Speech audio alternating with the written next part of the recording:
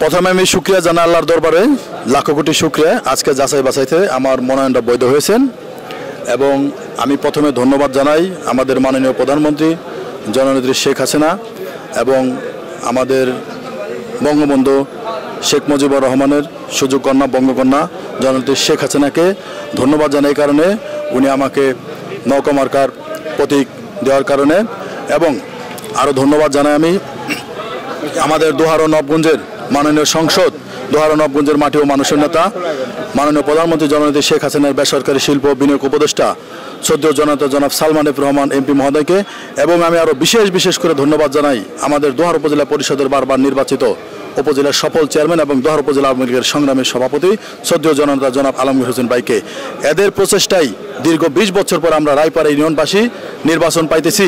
এই কারণে আমরা তাদেরকে ধন্যবাদ জানাই এবং রায়পাড়া ইউনিয়নবাসী দল মত নির্বিশেষে সকলে খুশি।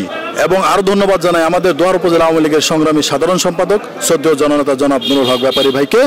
এবং আমি সবচেয়ে বিশেষ খুশি যে আমাকে দলীয় বাংলাদেশ আওয়ামী লীগ আমাকে দলীয়ভাবে মনোনীত করেছেন।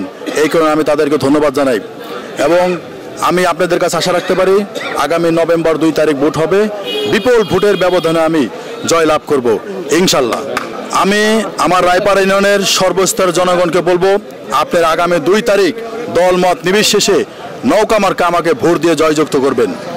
এবং সব সময় আমি ছাত্র জীবন থেকে রাজনীতি করি, ছাত্রলীগ করছি, স্বেচ্ছাসেবক লীগ করছি, এবং ইউনিয়ন আওয়ামী লীগের সাধারণ সম্পাদক আমি, এবং এই সুবাদে দল আমাকে নমিনেশন দিছে। আমি সব সময় বিভিন্ন দুর্যোগ মোকাবেলায় জনগণের পক্ষে ছিলাম এখনও আছি, ভবিষ্যতে থাকব। এর জন্য আমি আমার ইউনিয়নের সর্বস্তরের জনগণকে বলব, আপনারা স্বতঃস্ফূর্তভাবে আগামী দোসরা নভেম্বর নৌকা মার্কায় ভোট দিয়ে আমাকে জয়যুক্ত করবেন। সবাইকে ধন্যবাদ, জয় বাংলা, জয় বঙ্গবন্ধু।